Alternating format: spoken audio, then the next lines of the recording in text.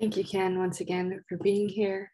Um, and I know I feel like so many people are asking this question, especially just in recent times, is how do we manage change as leaders and what can we do to combat that and be our best selves in times of extreme change?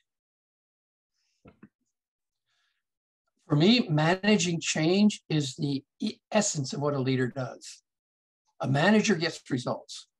A leader is a change agent. That's my definition.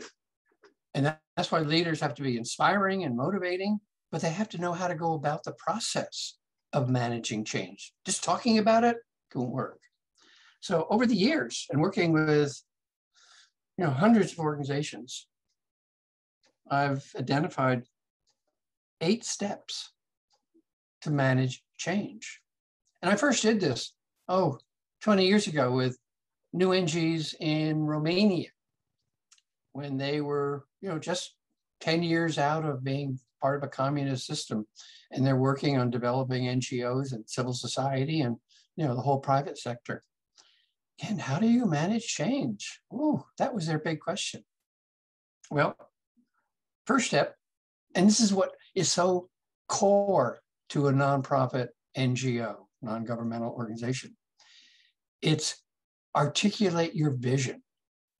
What is your vision in your organization and in your leadership style?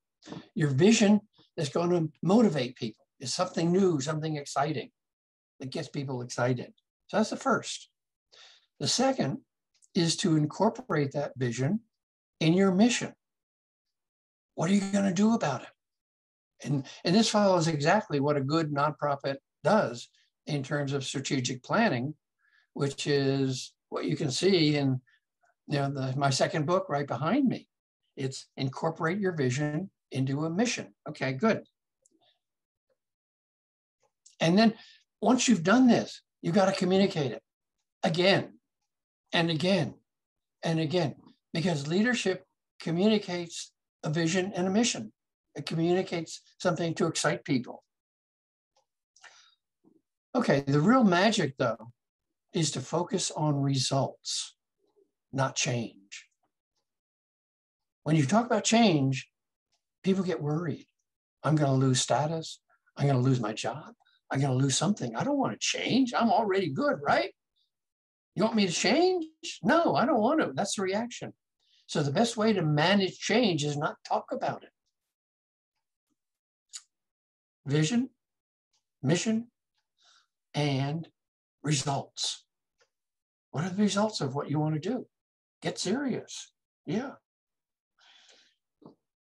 yeah. Number five is to get everyone involved, make it a participation. And this is true in the whole planning process, is true in ongoing excitement of what you're going to accomplish. Involve people, listen to them, get them to participate. Then the six is, mm. again, is right out of strategic planning. It's get people to articulate what their own objectives are, their units' objectives, their team's objectives, maybe their personal objectives to achieve that mission through the work. Next, number seven is to monitor as people are doing this. And that's true in you know a nonprofit organization, is true in a community group.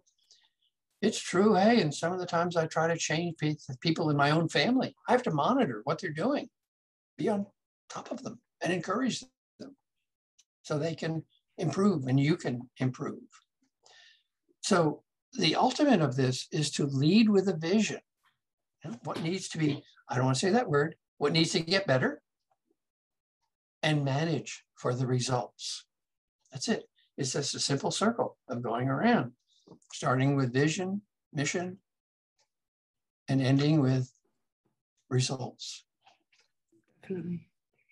And I think it's so important because at least in my experience, when we start without a vision or if there's nothing that's driving us or pushing us forward, the amount of participation is so much less and people don't want to care as much. Um, and it makes sense. And I feel like that's such a, a cornerstone of any leader's experience and what they want to make sure that they're delivering for the people who are working for them too um, is clearly communicating that vision with each other and co-creating it to make it the best it can be for the overall team too yeah at, at a birthday i had a few actually a year and a half ago now the last big family gathering we had in early march year and a half ago I got the grandkids together to talk about what they wanted to do as a family for the environment. And they worked and they developed some really good, uh, you know, activities that everybody could do. We wrote it up. I shared it with family. Nothing happened. I followed up more recently with my brother, who initially was, yeah, what's going to matter what I do? And I gave the image of what we do is like maybe sand on a beach. Each little activity makes for a beach.